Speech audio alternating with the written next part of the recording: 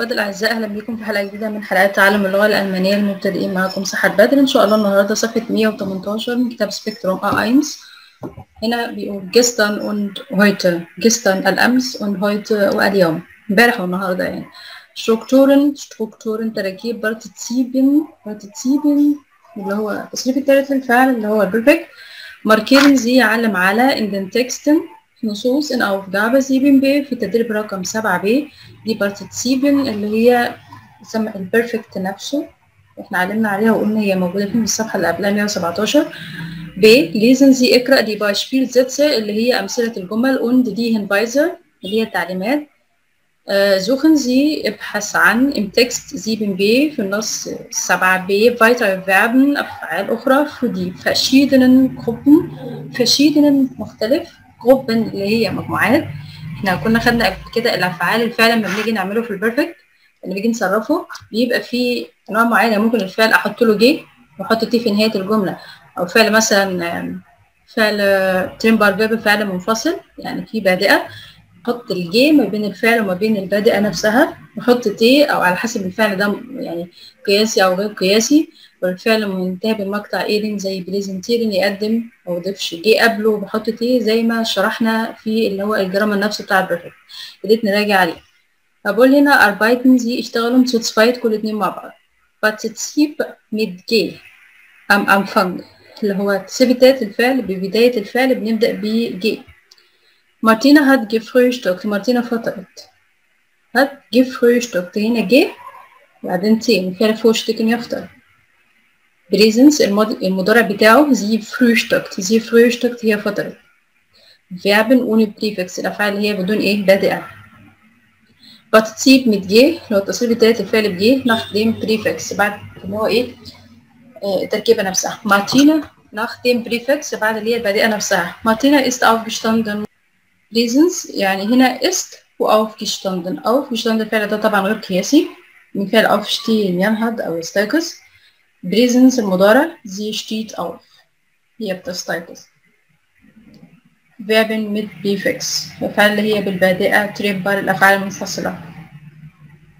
طيب بتسيب ohne ge التصريف اللي هو التصريف التالت الفعل بدون نحط له ge يونس hat ein Seminar besucht يونس اللي هو إيه حضر سيمينار هنا الفعل besuch فعل بادئ ب be و be بادئ غير منفصلة. فقلت besucht على طول ما ضفتش جي وضفت له t بس.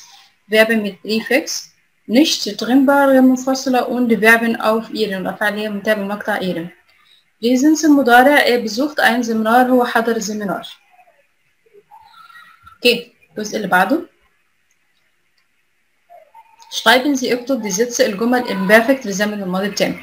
Arbeiten Sie zu zweit اشتغلوا كل اتنين مع بعض. هي الجملة عاملها في المضارع وعاوز حضرتك تكملها في البرفكت مارتينا steht auf نبص هنا على الفعل ونبص على نهاية الفعل. هل في بادئة ولا مفيش لازم نكون واخدين بالنا كده في الجمل بتاعتنا عشان نقدر نترجم الجملة ترجمة صحيحة. نبص الفعل الجملة تبدأ بفعل طبعا. أو تبدأ بالظرف أو أي حاجة بس لازم نبص على الفعل نفسه. الفعل ده منفصل أو غير منفصل. نبص على الفعل وبعدين نروح رايحين جايين على طول. رايحين على طول على نهاية الجملة قبل النقطة ما تخلص نشوف هل في بادئة ولا لا اللي إحنا عرفناها. steht auf اللي هي استيقظت. um 7 Uhr الساعة 7 يبقى ده فعل منفصل. طب الفعل ده غير قياسي. قال هنا Martina ist um 7 Uhr aufgestanden sie frühstückt um halb 8 Uhr فطرت الساعة 7 ونص. يبقى أقول هنا إيه يا شباب؟ Sie hat um 7 Uhr gefrühstückt. Sie hat gefrühstückt حطيت ge وبعدين t في نهاية الجملة وحذفت ال en طبعا sie hat um 7 Uhr gefrühstückt.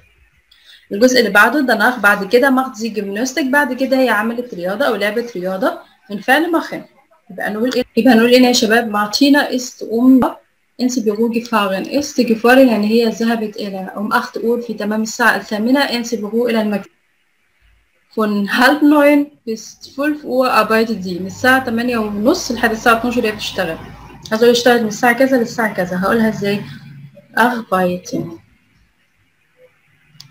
Sie hat gearbeitet هي اشتغلت von halb neun bis 12 Uhr. Gearbeitet طبعا sie analysiert Daten هي بتحلل البيانات عاوزة هي حللت البيانات فعل analysieren ده ما نحطلوش جي طبعا لأنه منتهى بالمقطع إيرن يبقى هقول هنا في تصريفه.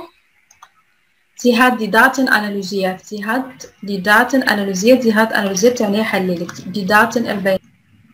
أوكي. Sie schreibt viele E-Mails und Berichte sie schreibt هي بتكتب viele E-Mails ايميلات كتيرة und Berichte وتقارير.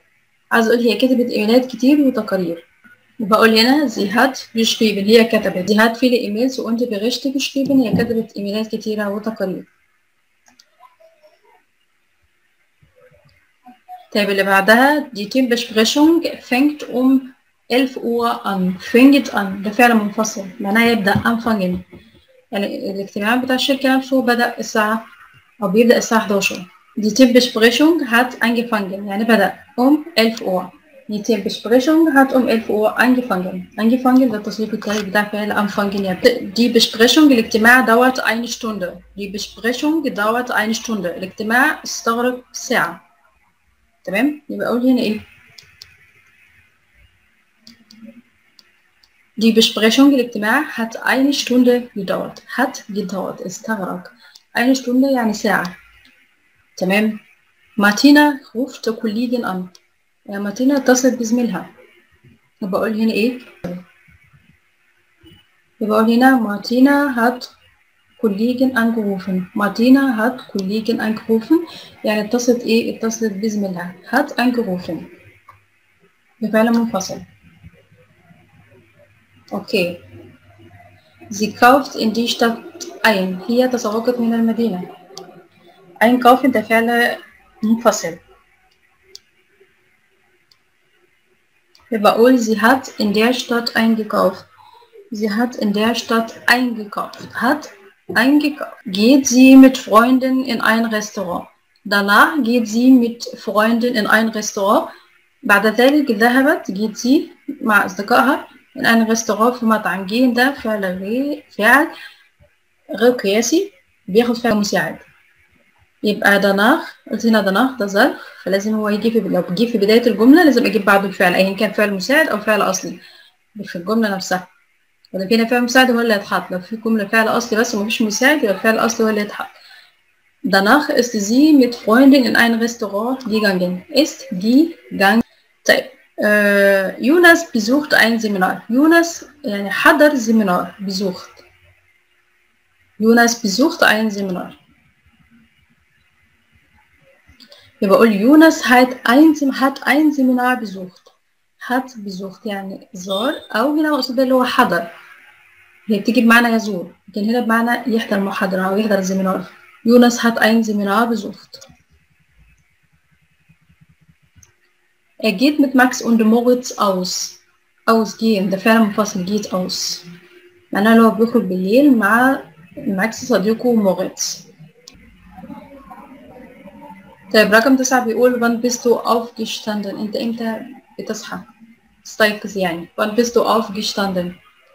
Bist aufgestanden لأن ده فعل بيعتبر من الأفعال اللي بتدل على التغيير. كان نايم وبعدين صحى.